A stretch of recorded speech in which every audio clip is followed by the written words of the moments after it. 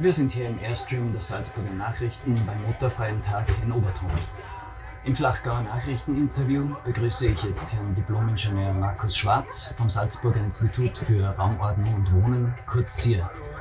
Er hat mit seiner Expertise im Bereich Energiegemeinschaften die Errichtung der Erneuerbaren Energiegemeinschaft Salzburger Seenland mitbegleitet.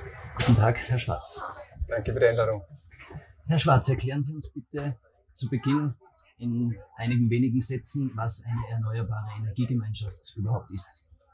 Eine erneuerbare Energiegemeinschaft, kurz EEG, ist die Möglichkeit, dass sich verschiedene Personen, aber auch mit Gewerbebetriebe, Gemeinden zusammentun, um äh, über Grundstücksgrenzen hinweg Strom auszutauschen, gemeinsam zu verwerten. Im Fall der Erneuerbaren Energiegemeinschaft Salzburger Seenland haben sich elf Gemeinden zusammengeschlossen. Wie läuft in diesem konkreten Fall die Zusammenarbeit ab? Die Zusammenarbeit äh, läuft folgendermaßen ab, dass wir einerseits die Anlauf- und Beratungsstelle für Energiegemeinschaften sind im Bundesland Salzburg am SIR angesiedelt. Auf der anderen Seite haben wir für diesen konkreten Fall ein Förderprojekt eingereicht, gemeinsam mit der CHEM, Salzburger Seenland und dem Regionalverband, um sich dieses Projekt, diese Idee im Detail anzuschauen. Äh, ist genehmigt worden und seitdem 2022 arbeiten wir an dem Projekt, an der Idee und was dann letztendlich jetzt 2024 umgesetzt worden ist. Und wie bringen sich die einzelnen Mitgliedsgemeinden konkret in diese Energiegemeinschaft ein? Über den Regionalverband Salzburger Seenland, äh, der ja regelmäßig tagt und im Zuge dessen ja die Bürgermeisterinnen und Bürgermeister ähm, sich austauschen und ein zusätzliches Thema ist sozusagen Energiegemeinschaften. Also in diesem Kreis wurde dieses Thema EEG Seenland oder kommunale EEG Seenland eigentlich ähm, begleitet. Mhm. Und es geht darum, dass ähm, kommunale Gebäude mit äh, Photovoltaikanlagen versehen sind und dieser Strom in die Energiegemeinschaft eingebracht wird.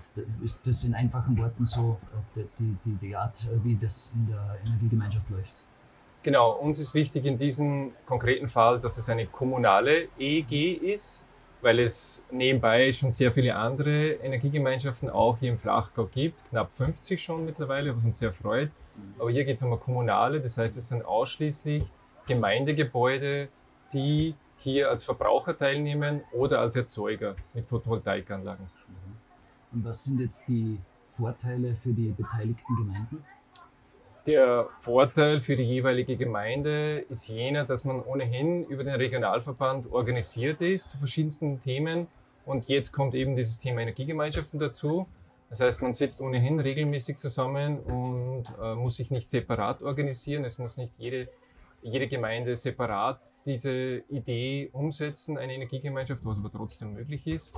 Und gemeinschaftlich äh, wird eben Strom ausgetauscht. Jede Gemeinde hat einen Nutzen, sowohl als Verbraucher als auch als, als Erzeuger, äh, weil man sich äh, Stromkosten spart dadurch. Also der Einspeiser bekommt mehr für seinen Strom aus, der, aus dieser Energiegemeinschaft und der Verbraucher zahlt weniger. Mhm. Und äh, der Tarif wird gemeinsam bestimmt. Mhm.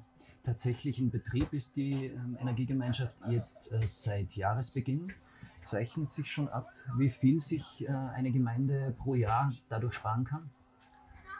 Das ist etwas schwierig zu sagen. Da lässt sich natürlich jetzt keine konkrete Zahl nennen. Die erste Abrechnung wird jetzt dann im frühen Herbst stattfinden.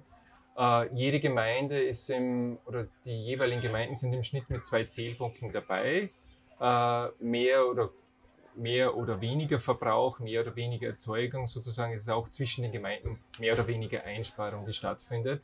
Mhm. Es wird auf jeden Fall für jede Gemeinde, die mitmacht, und das machen alle Gemeinden mit, eine Einsparung geben.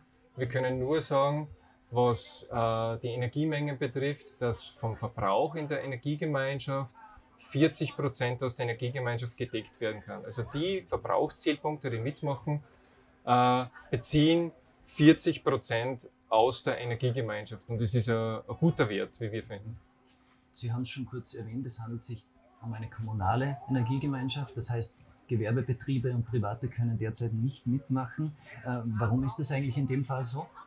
In dem Fall, es ist eine spezielle Konstellation, weil eben der Regionalverband die Rechtsperson bildet. Mhm. Und das ist, ein, ist im Gesetz so bestimmt worden, dass das möglich ist, dass ein Gemeindeverband auch die Rechtsperson bilden kann. Bei jeder anderen Energiegemeinschaft äh, wird in der Regel ein neuer Rechtsträger gegründet. Das heißt, da hat man einen Vorteil. Was der Nachteil ist, muss man sozusagen sagen, ist, dass Gewerbebetriebe und Private da nicht mitmachen können, sondern nur Mitglieder des Regionalverbands. Und das sind nur die Gemeinden. Das heißt, das wird sich auch in Zukunft nicht ändern. In, mit der derzeitigen gesetzlichen Grundlage ändert sie sich nicht. Mhm. Vielleicht kommt, kommen hierbei Änderungen, Mhm. dann wird sie sich ändern. Aber jetzt in Richtung privater und Gewerbe kann man sagen, es gibt mittlerweile fast 50 andere Energiegemeinschaften nur im Flachgau. Also das Angebot ist da, Mhm. dass man irgendwo mitmacht oder eben selbst was auf die Beine stellt. Mhm. Und gibt es jetzt bereits einen nächsten äh, Ausbauschritt bei der Energiegemeinschaft hier im Salzburger Seenland? Also das Interesse ist tatsächlich sehr, sehr groß von der Gemeinde, von Gemeinde zu Gemeinde. Wir haben bereits eine Liste bekommen, wo praktisch Verbraucher, Erzeuger rein reklamiert werden. Und in der nächsten, in der nächsten Schwung, sozusagen jetzt im frühen Herbst, werden diese zusätzlichen Gebäude dann mit aufgenommen. Also die Energiegemeinschaft wächst sukzessive, was uns auch sehr freut. Mhm. Herr Schwarz, vielen Dank für das Gespräch. Danke. Wir verabschieden uns hier aus dem Airstream der Salzburger Nachrichten vom motorfreien Tag in Obertrum. Danke fürs Zusehen.